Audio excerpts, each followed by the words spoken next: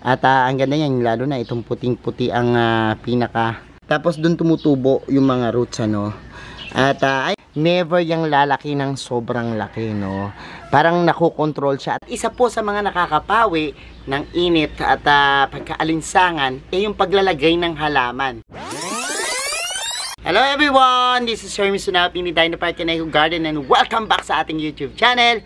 And for today's video, napakaalinsangan ng panahon at sobrang init ano. At isa po sa mga nakakapawi ng init at ah, pagkaalinsangan ay yung paglalagay ng halaman sa ating mga bahay ano. Dahil sinasabi na ang mga halaman na mayroong malakas na transpirational rate eh, nagbubuga po ng malamig na hangin ano. At isa po yan doon sa tinitingnan na posibilidad para ah, maging malamig yung ating pakiramdam ano at maging ah, komportable tayo. Pero may mga namumroblema. Sabi nila, paano naman kami makakapaglagay ng halaman sa loob ng bahay? Eh, punong-puno na ng gamit or maliit lang yung space namin at ah, hindi kasya yung mga ah, halaman kung ipapasok pa sa loob ng bahay ano.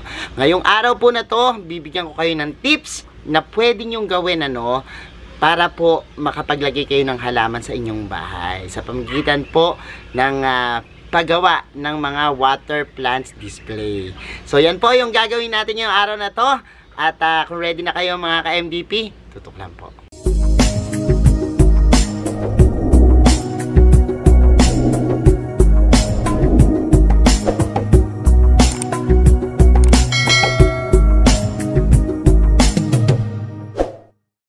We're back mga ka-MVP at yun nga pong araw na to, kakaibang ah, plant styling gamit po ang tubig. Yan. Ah, kung mapapansin nyo po, meron ako ditong ah, water plant ano. Yan po yung isa sa mga pwede nyong gawin kung halimbawang maliit yung space nyo no, sa inyong bahay, wala kayong paglagyan o punong-puno na, pwede pong ganito yung gawin nyo kasi ang mga water plants po ay pwedeng pwedeng i-display sa ah, tabletop, no? Yan, pwedeng ilagay dyan sa mga shelves, pwede rin po sa mga ah, center table, no? Pwede rin po sa ating dining table, yan, sa ating mga ah, patungan, eskaparate, sa mga ah, kwarto, no? So, less space po yung nagagamit nila, no? So, pakita ko sa inyo yung mga ganito ko, kung ano-ano yung mga halaman na talagang ah, mataas yung transpiration rate at ah, yung nagpapalamig ano yung mga uri niya. Kasi meron na po ako dito mga alaga na water plants. I make sure na yung aming bahay yung aming garden eh merong mga ganito no. Kasi nga po bukod sa ah, maganda silang ipang display eh meron pa po sang benepisyo na makukuha no sa pag-aalaga ng mga water plants. Kaya pakita ko na sa inyo yung ilang sample ano para magkaroon kayo ng idea kung anong halaman yung mga pwede nyong i-display So, ito na po, schedule ngayon ng pagpapalit natin ng tubig, ano? Kasi, every week po ay pinapalitan namin ng tubig itong ating mga water plants. Marami po kaming mga ginagawang halaman na water plants, pero ilan lang po ito, no? At papakita ko po sa inyo kung ano-ano yung mga yan, para kung halimbawa, gusto nyo ng idea, ano bang halaman yung pwede? Kasi po, ito pong mga halaman na ito ay nabubuhay din sa soil, ano? At pwede ring mabuhay sa water, ano? At, ah, kung wala pa kayong mga idea, pwede nyo pong gayahin yan. Usually po, ang mga ginagawa naming mga water plants dito, yan po yung mga ah, variety ng photos. Ano? Katulad po nito, maganda yung ating marble queen. No? At ah, ang ganda yan, lalo na itong puting-puti ang ah, pinaka dahon, no? Kakaiba, no? Pag nilagyan mo dyan, ah, sobrang lamig sa mata, sobrang ganda, no? So, mga photos po, eto, marble queen, una natin. Tapos meron ako ditong ayan, manjula. Yan, manjula. Ang tagal na nito, siguro almost a year na yung iba dito. Yung iba naman po ah months, no? Ah, depende sa mood natin kasi minsan may times po na kapag halimbawang ito kasi ah tinropagate natin. Kumbaga galing sa stem ano, yung ah, nodes niya pinutol natin tapos ah, nilagay natin dito yung ah, stem na may nodes. Tapos doon tumutubo yung mga roots ano. At ah, ayan tingnan nyo. May mga roots siya na ah, madami no. So this one is ah, manjula. Yan. Ah, photos din po siya no so ako, yung mga usually photos na gusto kong padamihin, ginaganito ko muna, no? Tapos pag tumubo na yung mga ugat niya at dumami na, tsaka ko itatanim, ito transfer sa soil, ano? Tapos magagawa uli ako ng panibago na yan. Pero yung iba dito naiiwan lang ano kasi minsan ah, marami na tayo katulad nito ating mga yan. Itong mga maliliit no ah, na ating ah, halaman yan, yung enjoy no. Ah, eto nga dalawa yung enjoy natin. Masyadong malago ano. Ah, kung gusto niyo ng sobrang liliit naman yung dahon, pwede rin naman ito no. Yung mga enjoy ang gamitin niyo, hindi lumalaki yung mga dahon nila. Eh napansin ko rin parang nabobonsai no yung ating mga halaman. Hindi sila ganun kumakapal hindi sila ganun ah, lumalaki no? Unlike yung nakadirekta sa lupa may kinakapitan sobrang lalaki ng puproduce na dahon. Pero this one parang maliliit lang no? Nagiging miniature yung mga ano. Kaya hindi talaga takaw space ano sa atin. So meron din tayo dito ayan golden photos ayan kung mapapansin nyo golden photos natin. Dami na rin ugat niyan ano at ah, yan napakadami na nilang mga ugat. May neon photos pa dito. Yan iba't ibang klase yung photos natin ano. Ah, usually minsan kapag halimbawang ah, nakakalimutan ko nawawala ng dry nagkakaroon ng ganito yung dahon no. So tanggalin nyo lang po yung mga dark na dahon. Yan putulin nyo lang. O pwede na yan no. Ah ganyan parang tinitrim trim nyo lang sila So, ito napakalamig talaga kapag halimbawa mayroon kayong mga water plant sa inyong mga room ano, nakakadagdag po siya ng extra lamig talaga. Ah, kapag halimbawa sobrang alinsangan, ah maaaring nanggagaling do sa hangin na binubuga nila no kasi sila ah, constant yung ah, pagkakababad nila sa tubig ibig sabihin yan constant din yung ah, pagbuga nila ng malalamig na tubig ano. Unlike nung nasa pots na pag natuyo na wala nang pagkukunan ng tubig ah, nagiging limited yung ah, pagbuga nila ng ah, malamig na tubig. Unlike ah, kapag nasa ah, water sila talagang continuous ano yung tubig na pinanggagalingan ng plants no? So ayan and yung sinasabi ko kanina na parang nagkakaroon ng bonsai na effect ano? Katulad po nitong uh, Dieffenbachia ang Dieffenbachia kung mapapansin nyo po sobrang lalaki ng dahon yan kapag nakadirect sa lupa may times nga po na yung kanyang stem ay nagiging mabilog na malalaki no?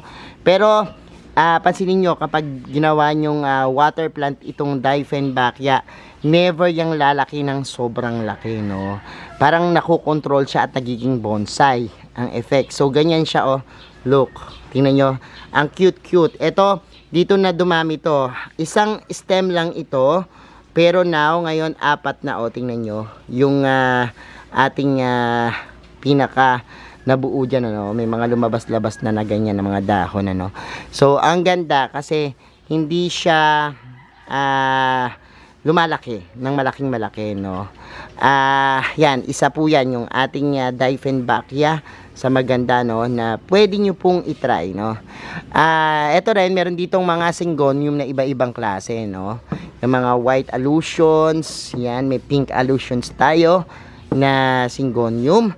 Magaganda rin po ang mga syngonium at ah, yan nakakadagdag din po ng lamig sa ating kapaligiran ano kapag yung syngonium.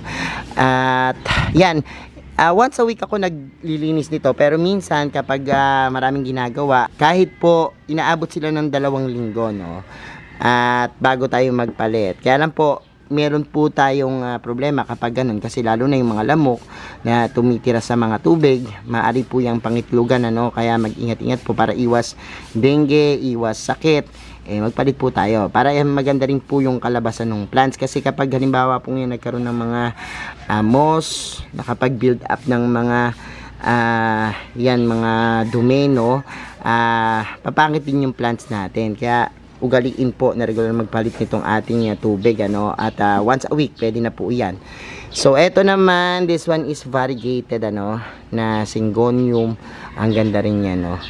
Look diba napakaganda rin so yan yung mga syngonium natin na uh, pwedeng pwedeng ilagay ano as gawing uh, uh, water plants and kapag philodendrons naman Actually, mga philodendrons, malalaki talaga sila, no? Pero kung gusto nyo po ng maliit na philodendrons, ito ang ganda rin kasi ng kulay. Kasi yung kulay niya, ah, green. Yung kanyang deep green na kulay, yan ay malamig sa mata, no? Kaya nakakapagpalamig din ng paligid. Itong ating ah, philodendron Berlin Max, no? No, ayan, napakaganda ng Berlin Marks natin at talagang, oh, look, no? Hindi siya dumadami ng ah, sobra-sobra. Kumbaga, ah, nakokontrol din. Pero sumusulpot. Nagiging lash lang siya ng paunti-unti.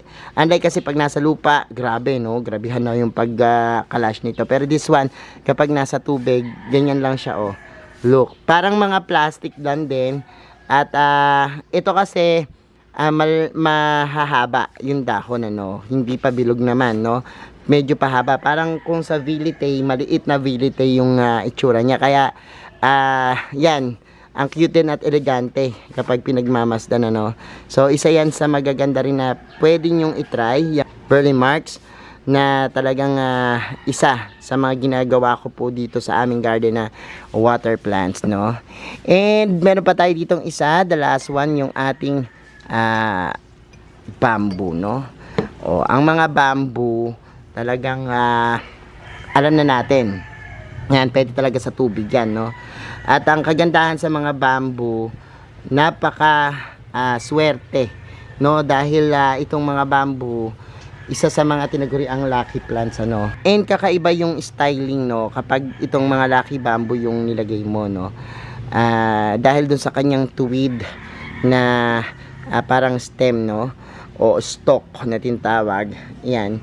At ah, mga guhit-guhit.